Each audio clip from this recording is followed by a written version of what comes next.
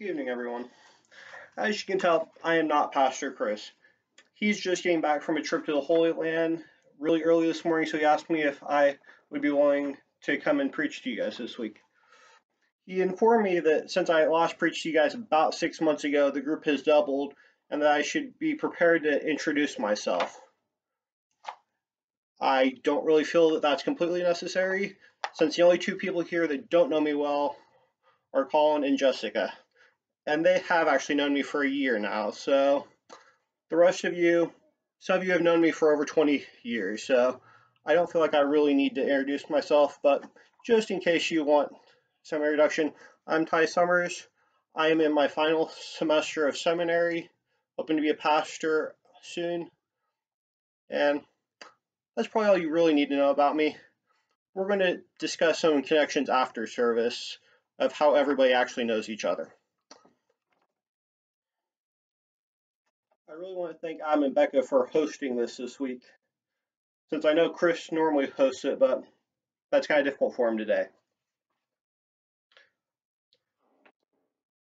I want I wanted to start off by rereading the message that we've already heard and that we've heard the song for the great is thy faithfulness. But this I call to mind, and therefore I have hope. The steadfast love of the Lord never ceases. His mercies never come to an end. They are new every morning. Great is your faithfulness. The Lord is my portion, says my soul. Therefore I have hope in him. How many times have many of us heard this or a similar translation? What does hearing this text initially spark in you? What does it call to mind? I know as I hear for the first, when I start to hear it, I think of how much better it makes me feel about God, how God is going to show me mercy and love. But I also, like several people, like Adam and Dana and Becca here, I get a different con connotation of this because after attending Baker University, where the final version of Grace Thy Faithfulness was penned, I have some of that sentimental feeling. I heard this song every other week for four years. I have, it brings sentimental things to me. So I realize I'm not probably the best person to discuss this. However, after hearing this so many times and starting to read it in the Bible, I wanted to know what was actually going on because I real started to realize this is verses 22 and 23. So there's over 20 verses preceding this. And I feel that these verses are important to give us a context for how it actually applies to modern society. First, I'd like to give you a little bit of background. The author is technically unknown. He's often credited as the prophet Jeremiah, or sometimes called the strong man in several commentaries. This really isn't that important to know, because how many of the authors do we really know? But it is important to note that this text is written most likely during the Babylonian exile in around the 6th century BCE. This is important because this is likely a couple generations into this exile. So the people are feeling kind of disconnected from their roots. They're in this land that, while it's familiar to them, it's not home. It's not where they feel that they belong. They are kind of suffering identity crisis because of this. Oh, we're supposed to be in Israel, but no, we're stuck in Babylon. I want you to take a moment to think about a time that you felt out of place, like you were not at home. Maybe it's when you first left for school, or you first moved to the big city, started boot camp, or maybe it's when you started your first job at the hospital. With that in mind, how would you feel if you lived your entire life with that feeling, knowing that, yes, you know where you are, but you don't feel like you belong? It's not going to ever be home. This is a situation for both the writer and the original audience. This is the background of Lamentations, and this is why the verses leading up to 22 and 23 are filled with things such in verse 4 with images of God allowing the author's flesh and skin to waste away and his bones to break. And furthermore, the author feels he is the subject of taunting and is a laughing stock to his people in verses 14. How many scholars have even pointed out that the source of torment here seems to be God? How often do we get this feeling that God is putting us through all of this, making us suffer, making us a laughing stock? Well, I guess probably none of you can really relate to that. Come on, none of us have been taunted by God. None of us have been made a laughing stock. Come on, it's not like anybody here has ever battled cancer, been made a laughing stock in front of a group of their friends, maybe asked out a crush and been rejected, or failed an important exam. Come on, none of us ever go through those kind of situations. How often do we question God? Why is God allowing this to happen to us? What does it really mean for our lives? If we can't turn to God, who can we trust? I know for me, as I was growing up and experiencing these things, I wanted to question God. I wanted to stop attending church. I wanted to know why God was allowing these physical and mental pains to affect me so much. Luckily, I have been able to get a little bit more understanding with God in these situations, but it doesn't make everything better. That's why these previous images are so important for our hearing of the, the verses that we keep hearing. The steadfast love of the Lord never ceases. His mercies never come to an end. They are new every morning. Great is thy faithfulness. In, in initial reading, I know I wouldn't have felt that these all these verses connect together. Come on, how could being taunted and being made a laughing stock show the love of, of God is steadfast and that the mercies never end. It is important to note that this is fairly common in the Bible, especially in the Old Testament with the lament style of prayer, for the authors to complain to God, say that God isn't doing the right things, and then the next verse to be praising God. That's important because it helps us to realize that yes, it's not a problem for us to complain. It's not a problem for us to question God. We just need to realize that we also need to ask, we need to say what is good about God. However, I also realized that through my experiences and the experiences around me, often it's required to have some of these bigger experiences where we don't feel like we got mercy so that we are able to make a new connection or gain a new understanding. As many of you remember, on February 5th last year, on my way to school, there was a weird ice storm moving through Kansas that created ice that nobody was prepared for.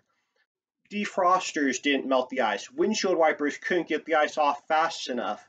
So as I was driving on the turnpike to school, I had a rollover accident going about 55 to 60 miles per hour, not knowing the road conditions. It would be easy for me to say that I experienced a lot of the same things that the authors of Lamentation experienced fear, anger, guilt, embarrassment. How easy would it be for me not to feel God in this situation? And wonder how God could allow this to happen to me. I was on my way to seminary. What more was God asking for me to do at the time? Luckily, even in this period, my mind of my mind racing a mile a minute, I was able to get some clarity and understand that God was showing me mercy. Even though I didn't realize how much mercy I was shown until several days later, really, when I was casually talking to a coworker that happened to be going by about 15 minutes after my accident and had seen the accident scene. He predicted that I probably had rolled over three to four times. Think about that, going over three to four times at over 50 miles per hour. I should not have walked away. I should at least have been taken to the hospital in critical condition, most likely. However, I did walk away. And I walked away with barely a scratch. I walked away with some scratches that were maybe an inch, inch and a half, and a bruised left knee. That was God showing me mercy. It could have been my end of times there. I experienced even, I learned of even more of God's mercy about the accident as I was talking to some highway troopers uh, in the area about a week later. And they informed me that there had been many accidents around that time on the turnpike. I think on my way just back from Matfield Green, there were another four or five accidents along the side of the highway, but mine was the most serious accident. And it's important to note that because I'm also the only one that walked away without serious injuries. And the highway troopers pointed out that seeing my accident seemed to make people slow down, go slower on the turnpike that day. And it probably saved other people's lives because while mine was not the only one, it was the most severe. People saw a vehicle rolled over like that that everybody assumed the person was dead but I was not.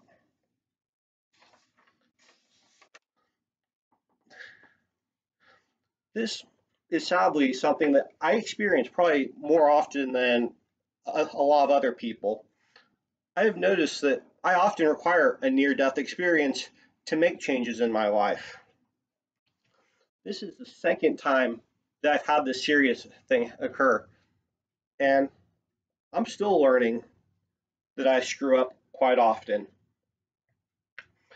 Luckily, I'm, I often am shown a lot of mercy by God because I am able to walk away from so many of these things without the scratches. The main thing that I walk away with is is, is the embarrassment, which some people might say is actually a bigger scar, but that's a discussion for later on.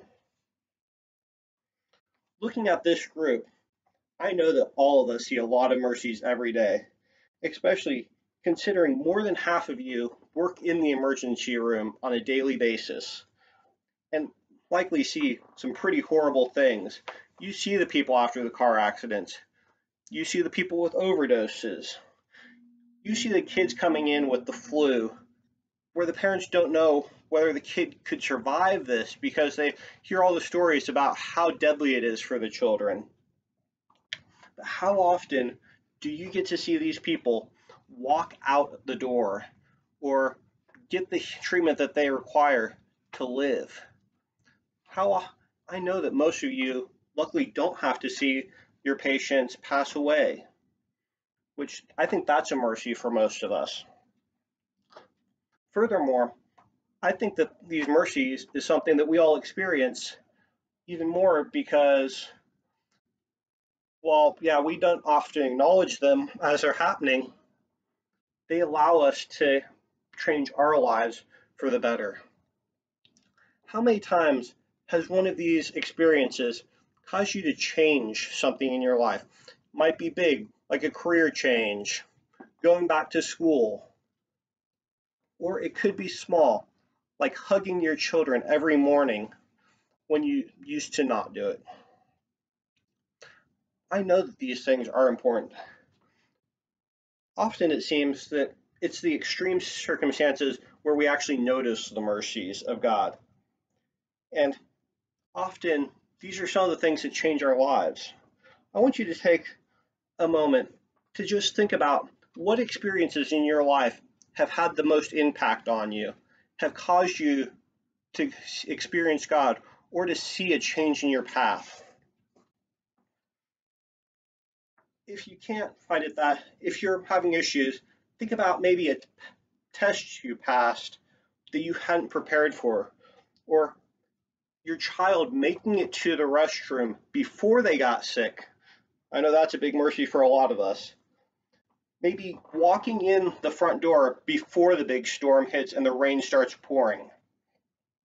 Or the book you just dropped, missing your toes. I know that one might not seem big, but it's also big to some people. Often these mercies are not acknowledged. They are not attributed to something from God. They're often more attributed to luck. However, big or small, all of these mercies do come from God. And I want you to think about that, experience. Now, how often did these little mercies or the big mercy change your life? How many times did it put you on a new course that you did not expect at the time? That maybe you had made the plans all out for this course, and then you realize that what God just did completely changed your plan. But days later, maybe you realize the effect that that had on your life, and that what was done actually improved what you your life in ways that you had not predicted it to be able to.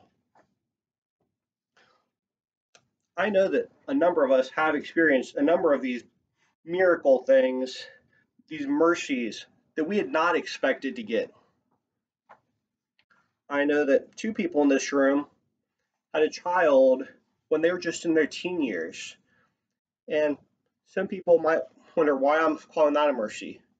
The mercy is that they both had families that supported having the child in the family, didn't want to give it up for adoption. They had the finances to allow both of the people to still, both parents to still attend school, to try to live the normal life. Because you have to remember, because this was before the days of MTV allowing pregnant parents to become famous and have some financial backing from being a reality star. Furthermore, they got to experience mercy because they got to have a new life brought in that they were responsible for. Yes. This is not something that either of them had planned, but it is probably one of the biggest mercies that we're often shown that we are entrusted to lead further with God's love. All of these mercies, all of this love that God shows us, leads to a final question, I think. How often do we want to question God's motives behind giving us all this love and mercy? How often do we feel like we do not deserve it? Why is God showing this to us? The answer seems pretty simple when we look at the text, especially when the God, when the author speaking to God says, Great is thy faithfulness. For me, it is important to recognize that the author is speaking to God in this circumstance. He's not saying, Great is my faithfulness, great is our faithfulness. No, it is great is thy faithfulness. God has enough faith in humans that humans are continually shown love and mercy, no matter how little we deserve it, because God is faithful. Furthermore, a little background helps when in verse 22 the author says, The steadfast love of the Lord never ceases, which in other translations is written as, We are not cut off, meaning in any other contract, the recipient would be cut off if they do not live up to the expectations that are listed in the contract. However, this is not the way God works. God still tries to reward us even when we screw up. God is faithful in the contract. God is like many parents where even when the child screws up, they want to renegotiate the contract to give the child another chance, to give the child a way to grow. Because God realizes that our failures is where we learn. How often, how many times do we hear, you do not learn from success. You learn from the failures. I think that's what God likes to show us that we are loved so much that God will give us these extra chances. We are we are never going to live up to all the conditions that are in the contract with God. But God is willing to negotiate that contract to still give us the rewards that God feels we deserve. I think this is why Thomas Chisholm chose to write the lyrics for this hymn, Great is Thy Faithfulness. It is to help us remember in good times and bad. God's love is present, and God is faithful. No matter how often we mess up, God will show us the mercies that allow us to get back up, and are will as long as we are willing to accept the mercies and to recognize them. We are just asked to accept God's love and mercy because God's faithfulness in us is great we will never deserve it. And that's what I believe.